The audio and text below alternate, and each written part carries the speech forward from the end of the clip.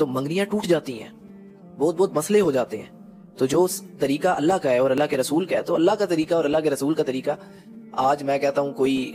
करोड़ों का मालिक आ जाए, अरबों का मालिक आ जाए फिर आ जाए, नमरूद आ जाए, जो तरीका अल्लाह ने बताया या उसके रसूल का जो तरीका है, उसके तरीके को कौन पहुँच सकता है और उसकी हिकमतें, उसके पीछे जो विस्टम है, वो उसका तो लेवल ही अपना है ब्रो तो इसलिए जो कंसेप्ट आपको अल्लाह से और अल्लाह के रसूल से मिलता है, उसमें डायरेक्ट निकाह है, उसके बाद आपके पास, आपके साथ वो लड़की जो है, वो हलाल होती है। तो एस्टेब्लिश निकाह इंस्टेड ऑफ़ मंगनी शंगनी मेहंदी शहदी सिर्फ़ निकाह निकाह जो है वो बेहतरीन चीज़ है